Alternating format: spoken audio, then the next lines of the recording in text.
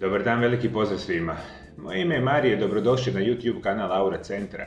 Ono što ćemo u današnjoj temi pričati biti će koji su simptomi krvnog ugruška u nogama. I to je nešto što ono mi nazivamo u medicini duboka vrenska tromboza i govorili smo već u prethodnim emisijama koliko je opasno stanje imati onaj krvni ugrušak koji se najvjerojatnije, dakle tokom godina na vašem tijelu ili vašim krvnim žilama manifestirao kao određene nakupine na jednoj ili možda više samih krvnih žila. I ono što se događa najčešće kod ovih krvnih ugrušaka, oni se sa vremenom potencijalno mogu odlomiti i stvoriti jedno izuzetno teško stanje.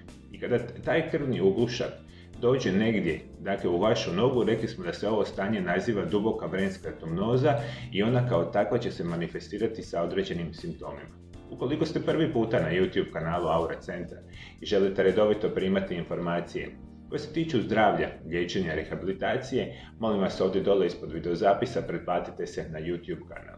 I prije svega što vam želim reći, dakle ovo je izuzetno opasno stanje i zato ako primijetite bilo koji od ovih simptoma koji ću vam nabrojati, potražite naravno odmah hitnu medicinsku pomoć. Prvi simptom što će vam se javiti je da će vam se na onom mjestu gdje vam se već dakle, događa taj ugrušak stvoriti određena oteklina. To može se dogoditi e, dakle, na jednom dijelu noge gdje jednostavno taj dio noge postane otečen edematozan, dakle kada gledamo samu našu nogu, mogu bi ukazivati da je možda upravo na tom segmentu se stvorio daj određeni dakle, krvni ugrušak i počinje stvarati dakle, naravno oticanje same noge. Drugo što ćete primijetiti, taj dio noga gdje se stvara krvni ugrušak počet će mijenjati samu boju. Mogli biste jednostavno primijetiti da se javlja crveni ili plavni odsjaj ili da vas čak taj dio noge e, svrbi.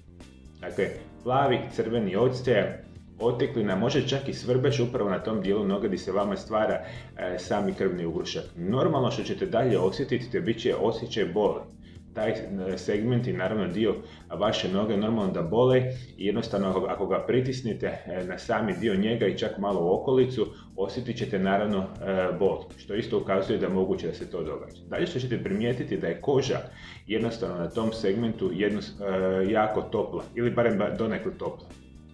Koža oko bolnih područja na nozi može se definitivno osjećati toplije od ostale kože. Dakle, to vam je onaj dio segmenta gdje nastane e, sama tromboza, ona je topla, a onaj dio okolo e, same noge nije dakle, u istoj razini e, dakle, topline, nego je puno ili dosta hladniji. Naravno, toplina nam isto ukazuje da se tu događa nešto loše. Dakle, ono što se događa u još jednom gorim situacijama, kada se recimo od nekakvog tromba u nozi, može se rekli smo zapravo od krvnog ugruška stvoriti tromb koji će kasnije putovati u neki dio tijela i moguće ako ode u pluća da ćete imati problema upravo sa disanjem.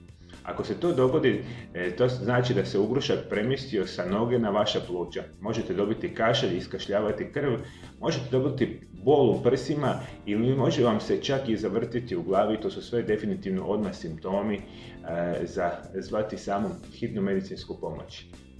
I ono što ću vam još reći, e, prilikom duboke vrenske tromboze u nozi, ljudi će puno puta dobivati grčeve ako se ugrušak nalazi upravo u potkoljenici, možete ćete osjećati da imate grč e, koji na kraju krajeva okolo toga svega stvara tu određenu problematiku. Dakle, noga će biti, dakle taj segment će biti bolni, otečen, e, promijenit će boju, e, moguće da će stvoriti e, naravno same krčeve u okolnom segmentu i naravno u potencijalno može se kažem premisliti ne daj Bože u nekakav drugi segment našega tijela što je izuzetno, izuzetno loše. Zato molim vas vodite računa o ovim simptomima, jako su opasni i ako primijetite nešto bilo od toga nazovite naravno hitnu medicinsku pomoć.